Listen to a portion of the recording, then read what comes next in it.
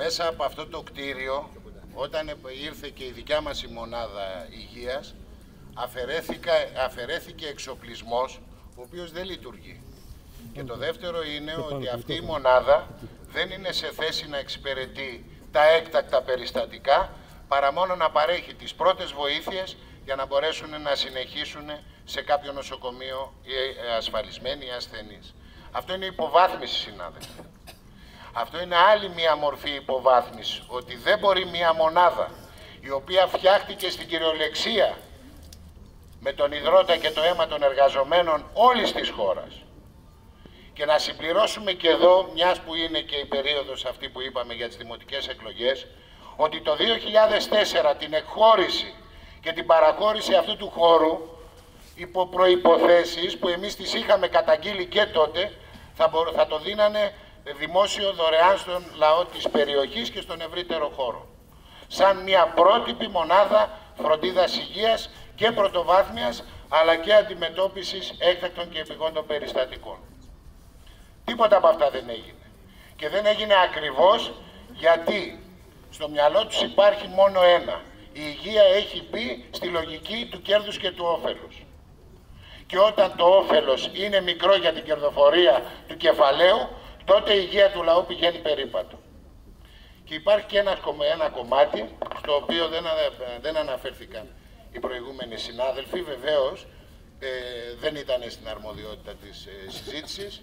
Το προσωπικό που εργάζεται μέσα, όπως σε όλους τους τομείς σήμερα της ε, εργασίας, με διαφορετικές σχέσεις, με μπλοκάκι, με ορισμένου χρόνου και το ιατρικό και το παραϊατρικό και το νοσηλευτικό και το διοικητικό προσωπικό εργάζονται με συμβάσεις ορισμένου χρόνου και σε συνθήκες, αυτό θεωρώ αυτονόητο να το πω, πολύ σκληρής εργασίας όσο και αν καμιά φορά δεν φαίνεται.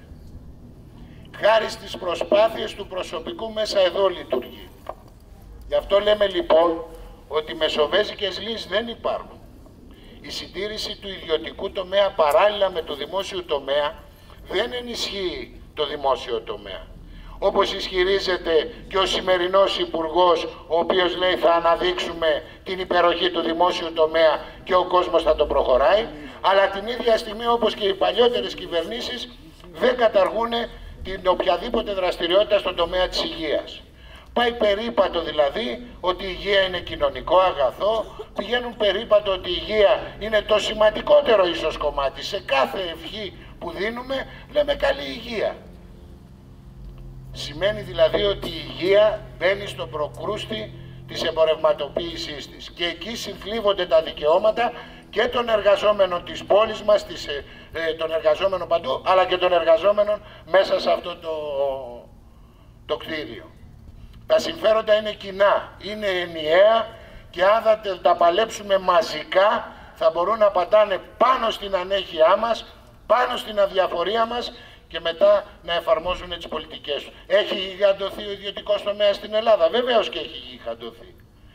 Το 1981 όταν η κυβέρνηση, η πρώτη κυβέρνηση του Πασόκ έστεινε το Εθνικό Σύστημα Υγείας, δεν είχε στο μυαλό της να καθιερώσει πραγματικό σύστημα υγείας. Απλώς δεν ενδιαφερόταν το κεφάλαιο για επενδύσεις πάνω εκεί.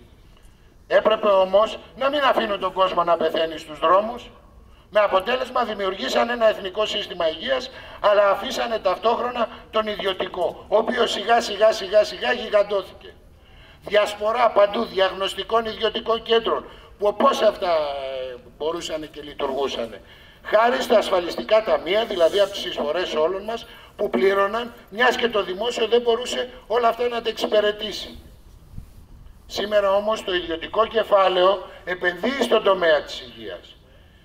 Παλιές ιδιωτικές κλινικές, να μην αναφέρουμε ονόματα, έχουν περάσει σε χέρια ξένων εταιριών και προβλέπεται στην Ελλάδα να λειτουργήσουν μιας και οι δαπάνες οι ιδιωτικές που αποδίδει ο καθένας από εμά στον τομέα της υγείας έχουν σχεδόν ξεπεράσει το 50%, 60% και πάνω τα 100% είναι από ιδιωτικές δαπάνες. Βλέπουν κέρδη σε αυτό το τομέα.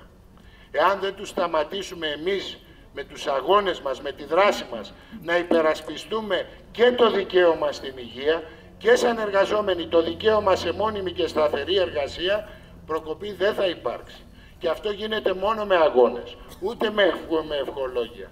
Σε αυτόν τον αγώνα σας καλούμε και τους εργαζόμενους μέσα και τους εργαζόμενους απ' έξω που είναι ένα και ενιαίο κομμάτι της εργατιάς της χώρας μας να αντιπαλέψει την πολιτική τους όπως και αν εκφράζεται με όποια φτιασιδώματα, με, όποια μεγαλό, με όποιες μεγαλόστομες εξαγγελίες.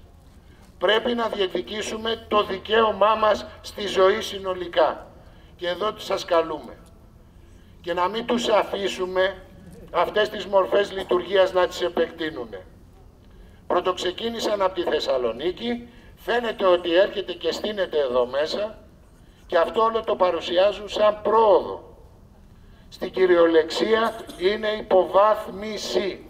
Και αυτό το βλέπετε. Και οι ουρές μάκρινα και τα ραντεβού και οι εργαζόμενοι μέσα δεν μπορούν να αντιμετωπίζουν 40 και 50 ασθενείς η κάθε ειδικότητα την ημέρα. Που είναι και ελλειπείς που έχουμε βασικές ειδικότητες που δεν μπορούν να καλύψουν το σύνολο. Γιατί και αυτοί οι εργαζόμενοι είναι. Με τις ίδιες αγωνίες και με τα ίδια προβλήματα. Άρα λοιπόν η απέτησή μας πρέπει να είναι ένα ενιαίο, καθολικά δημόσιο, δωρεάν, με κατάργηση της οποιαδήποτε ιδιωτικής πρωτοβουλίας στον χώρο της υγείας για όλο το λαό.